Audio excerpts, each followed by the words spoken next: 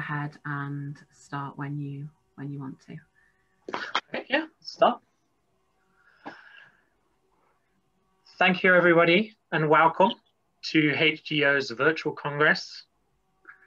We are thrilled that you are all here um, to spend quite a lot of time this weekend, hopefully, uh, with us uh, during our sessions. Um, we have over 550 people registered, which we're absolutely thrilled about, uh, from 45 countries, and we're absolutely delighted about that. So my name is Matthew Ellison, and I'm the founder and project coordinator of HDYO. And that's me there with my son, Joey. Um, and my story and HDYO's story are very much intertwined. So my, my father is here. Uh, this is me as a baby, believe it or not. Um, when I was very cute, of course. and as my mum would say, what happened. Um, so, and I'm sitting on my father there. Now, my father was diagnosed with Huntington's when I was seven years old. And up until that point, my life was, was normal. Um, but then out of the blue, they, my dad didn't know he was at risk. And then boom, he was diagnosed with, with HD when I was seven and he was 40. And my mom and dad told me straight away about Huntington's disease and what it was. But obviously, just being seven, I didn't understand a lot. And when you consider um, that my father looked looked completely healthy, it was a very it was a very hard thing for, for a young person to kind of kind of comprehend what you're being told there and what, what this is. Um, so when I was seven and I was just found out, it didn't really impact me that much at all. I thought, okay, what is this? No idea. Now, when I was 13, life got very much, very, very difficult for me as a young person in a HD family. I really struggled at 13. Um, I was de- probably, I could say I was depressed. I was in denial. Um, I was embarrassed about my father and I had his symptoms that he had. At that point, he had a lot of movements. And I, it was a stressful household and it was a stressful environment. Um, my mum was looking after my dad as much as she could and looking after me as well. And just the burden of Huntington's was starting to starting to grow. Um, but also at school, I was getting bullied uh, because my father had Huntington's disease. Um, so I became um, incredibly stressed out. And at that point in my life, it was when I just decided, okay, you know, I can't keep going on like this because it's just not healthy for me. Um, I don't know what's going to happen if I'm just stressed all this time. So I left school when I was 13. Not advised, but you know, it, it, it kind of worked for me in the end. Um, my mum wasn't wasn't too thrilled about the idea as well. Um, so when I left school at 13, uh, it was really to to relieve that stress from my life because um, it was just getting so stressful because of Huntington's disease. I felt like that was the only thing that I could do to relieve the stress. Um, and it worked. It worked. I was, and up until I was about 16, uh, I stayed at home and with my father and helped look after him. Um, so I spent a lot of time with my father, and that was a really nice time because I was able to connect with him, which was important. And you know, I said earlier that I was embarrassed to my father, and that's something that a lot of people feel. I know a lot of people feel that from families, and um, but eventually, when when I didn't have the stresses of other things happening, um, I was able to kind of sit down and kind of say, okay, it's not his fault, and um, I need to, I know I want to be there for him and care for him and, and love him. So um, it was very useful in that regard in my mentality to have that time to kind of not be so stressed out. Um, and in terms of my education, I was still I was being homeschooled, so I was getting some schoolwork each week from school, and I was I was doing enough to get by basically. Um, and I got some GCSEs, which is what we get here in the UK. Um, so I got some GCSEs to, to, to do what I wanted to do if I wanted to do something, university or etc. like that afterwards. Um, so when I was 18, this is actually not me when I was 18. This is a little bit older than 18, but this is as close as I could get. Um, so when I was 18, I had, um, I definitely felt like I wanted to get tested. And that was not something that had come up uh, before for me. I had known I was at risk. Um, I'd known I was at risk since I was about 10 years old, but when I was 18, I suddenly suddenly felt like I wanted to get tested. And I know, speaking with a lot of young people through HDYO, sometimes as young people have this feeling where they just they, they know they want to get tested as soon as they turn 18. Um, and that wasn't me. I was I didn't do it that way, but it just kind of ended up being like that anyway because um, as soon as I turned 18, I suddenly started thinking about my risk as a coincidence. And I just thought, okay, I do want to know. I do want to know if I'm going to be HD positive or HD negative and how that's going to impact my, my future. So I told my, told my mom, um, she was fully supportive of, of my decision. And when we, and then I started the process. At that point, my father was um, obviously progressing. He had been symptomatic for 11 years, or diagnosed for 11 years, and he was struggling to to walk.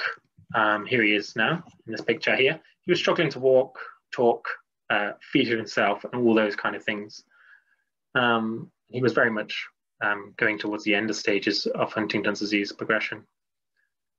Um, so I my I had tests. I was genetic counselling for six months, and when I got my results, I was positive with a repeat of 45.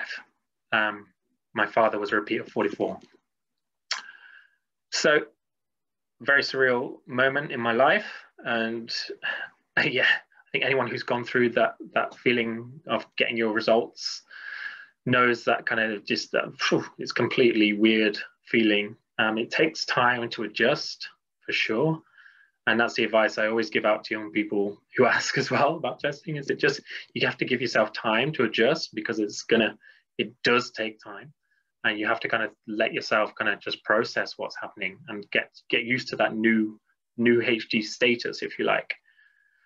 Um, so, um, but I was still caring at this point. I was still just at home, uh, living with my mom and dad, and caring for my dad as much as I could. I was working as well, but also my mom was was now working um, was was not working at all. She was just at, at home caring for my dad full time. So it was hard work at home. And then when I was 21, um, my father passed away. And this is actually one of the last pictures I have of my dad. Um, it's like a couple of months before he passed away, I think. Um, and you can see here, you know, he, he's he didn't talk for the last few years of his life. Um, and he was very, you know, very immobile, as, as I'm sure a lot of people from families will know. Um, I was there when he passed away, and I'm grateful that I was there. Um, as emotional as that was, I'm, I'm grateful to, to have had that time with him. Um, so when he passed away, um, I realized that well, I had some time to think about things after he passed away. So I was 21 and I was thinking what to do in my time, but I realized actually looking back at my life, for the first time, I realized actually HD had had a huge impact on my life as a young person growing up in a HD family. And I never really thought about it like that before.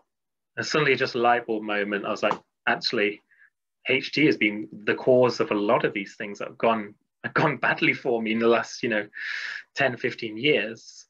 Um, and there wasn't a lot there for me. Um, so my, my mom and dad had had options for services. They had, you know, doctors, etc., etc., and support groups. But there wasn't anything for me as a young person growing up in a family with HD, um, or pretty much next to nothing.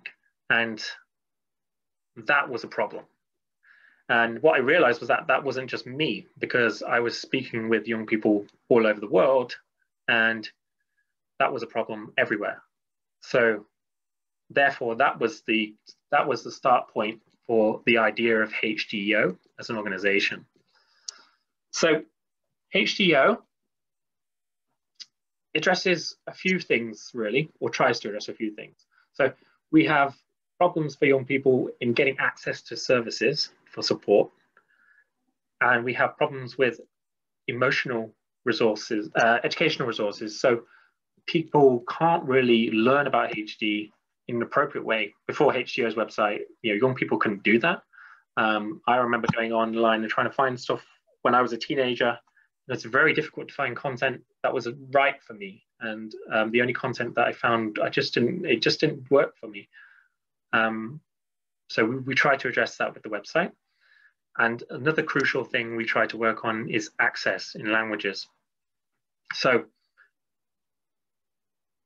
a lot of this content that is available for young people is not in any other languages. So um, if your if your language isn't English, then you're going to struggle to find anything at all online that's going to help you.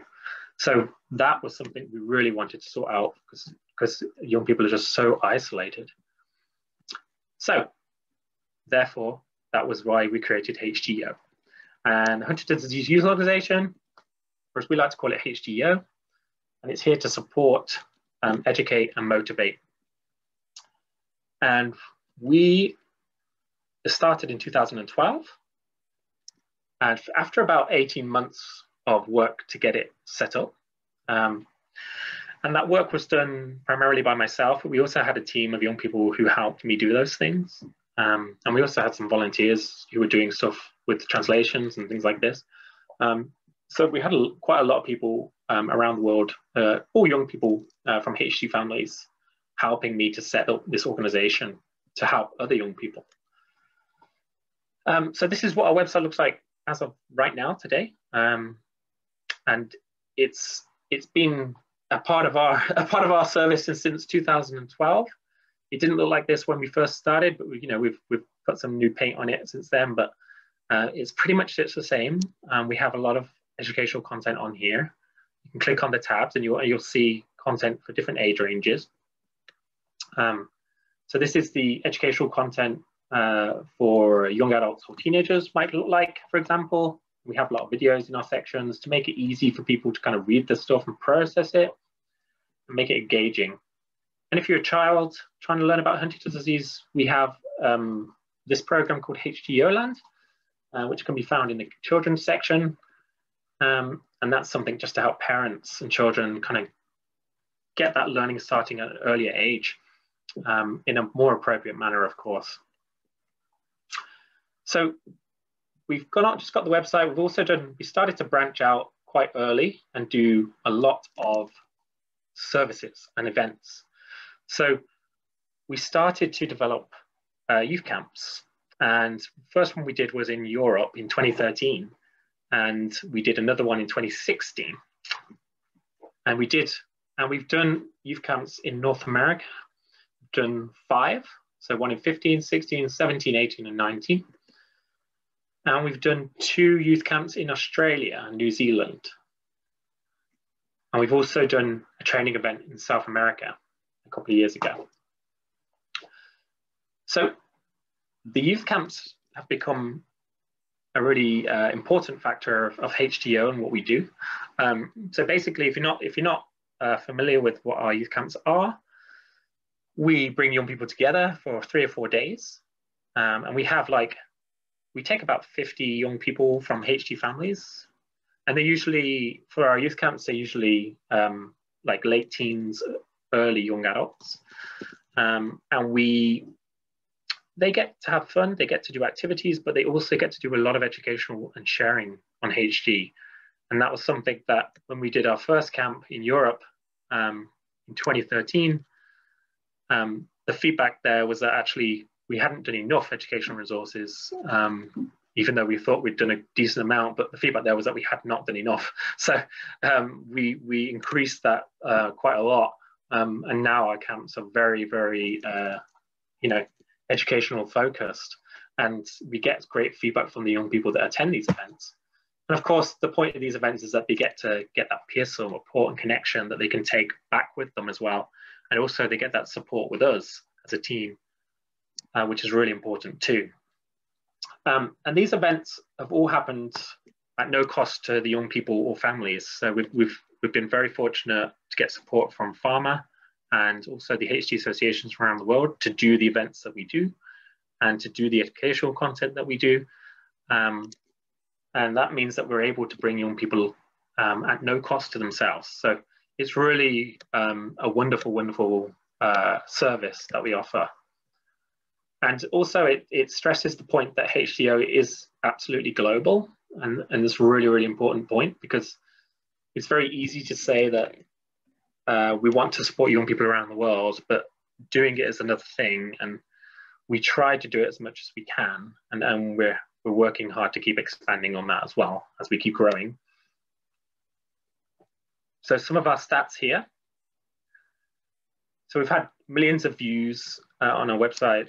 Uh, the most important thing we've got here is probably the, the website in 14 languages is, is just uh, fantastic. And that's all through the volunteers have done this. It's just uh, incredible. Um, so yeah, 14 languages on our, on our site with all the educational content is available in those 14 languages. Um, I'm so happy and uh, appreciative of the volunteers who've made that possible.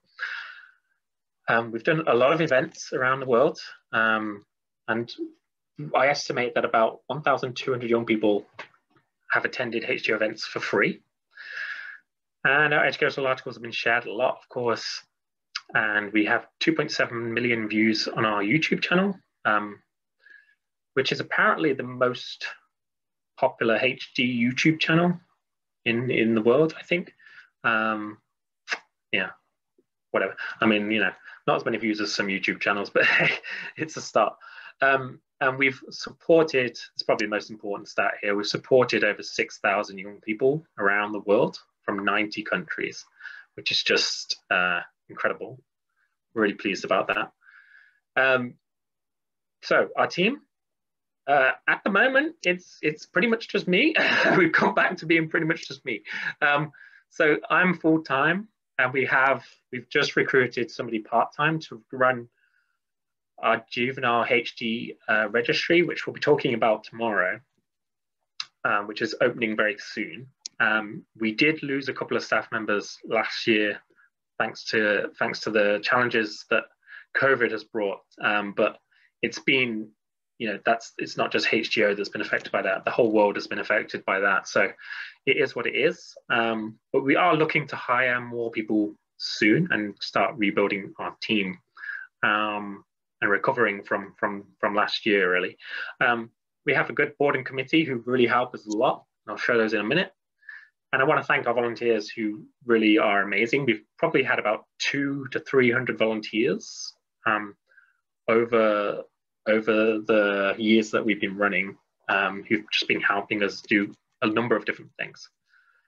Um, and I want to say a special thank you to Kat, Chandler, and BJ, uh, who have been, I don't know if they're listening today, but they've been uh, absolute keystones to HDYO. Um, and really, I'm really um, so thankful and appreciative for the time, effort, and dedication that they have given HDYO over the years and they are a key part as to why HDYO is what it is. Um, so, and actually, BJ is speaking later today. So, uh, I would highly recommend you go and go and listen to BJ's talk as well. And I also want to thank the Griffin Foundation, who have been uh, a wonderful supporter to us financially, and have really allowed us to do what we've wanted to do, um, allowed us to grow as well, um, to to do what we want to do on a global level. So I really appreciate the Griffin Foundation support. Um, so thank you. The HDYO board, and we have our committees as well. So Haley is our chair, and we have a, a bunch of committees that help us as we've only got a small staff team. We need as many as many good, good, strong people to help us involuntarily as we can. Um, so thank you to the board and committees that we have. Future of HDYO. Okay, so the future's bright, the future's white apparently. Um, so here we go. We've got, we want to keep doing what we're doing, basically. Uh, we've been doing really well, and we want to keep doing that. We want to keep providing events. We want to keep providing uh, events for young adults as well. But we also want to expand what we do. and expand the areas that we work in and the regions of the world that we work in as well. So you've seen that we've, we've gone to quite a lot of regions of the world, but we want to go to more. So we're working on that very hard. Um, but yeah, we want to keep expanding what we're doing, keep offering more educational content as well, uh, and, and keep doing the good stuff. Um, so I, I, sometimes I have these HDYO talks and I kind of forget um, to mention my family. So uh, I, I, put in a slide this time that I definitely wouldn't forget to mention my family. Um, so here we got my wife, uh, Mariana, and my son, Joey, who is almost four now, uh, bless him. And so uh, Mariana is actually, she's speaking later um, because my, my son, Joey, um, was born as a result of uh, PGD IVF. So if you're interested in learning more about that, then I definitely recommend listening to Mariana's talk later. Um, very informative. Um, but yeah, uh, Joey, if you're watching at home, which you should be, hopefully, hopefully you're being a good boy for mommy. And I love you to the moon and back, my boy. Um, thank you. And I hope you really enjoy the next two days. Uh, we've got so much content for you to enjoy that, um, that I really hope that you'll have a great time. If you have any questions at all, if you want to contact me, this is my email. Um, and thank you. I know this is the first session, so thank you for joining me for the first session. Um, the next sessions we've got on track one and track two. On track one, we've got um, Alice Wexler, going to be talking about the Wexler story, which is absolutely incredible. And on track two, we've got Dr. Weinal, who's going to be talking about lifestyles and staying healthy. Okay, um, so you have to, I appreciate your time, but uh, you have to leave this session and then go back to the auditorium room. And then you can choose between track one and track two, which one you want to join at 4.30. Um, and no, no questions on this session, but you will be highly encouraged to do questions and to provide questions in the next sessions coming up as well. So thank you for being here, and I hope you enjoy all the sessions today. Thank you.